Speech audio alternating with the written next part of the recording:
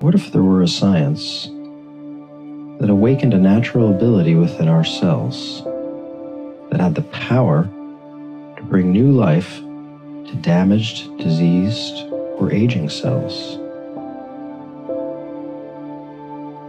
A science that would allow us to regenerate cells, tissues, even complete organs.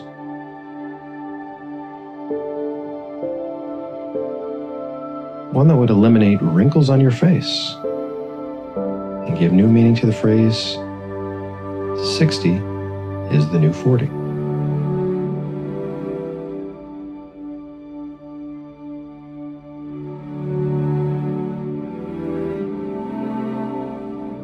What if pluripotent stem cells no longer had to be extracted from embryos or created artificially and then transplanted into a patient's body? What if your body could do this all by itself?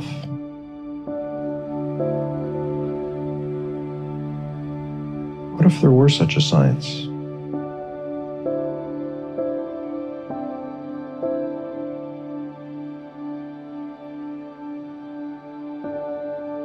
There already is.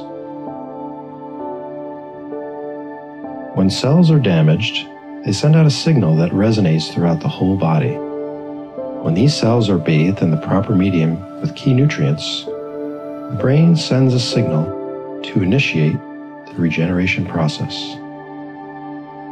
As these nutrients permeate the damaged area, a signal bursts forth, letting the brain know that the process has begun. Cell clusters communicate with the brain and coordinate with each other. The nutrients envelop and nourish the potentially regenerative cells, known as the PRC. Once awakened, the PRC enters a pluripotent stem cell phase, allowing it to duplicate, differentiate, and replace the damaged cell, which self dissipates and floats away. The PRC returns to its ordinary state, and a signal is sent out to indicate that the damage has been restored all part of an incredible self regulating system.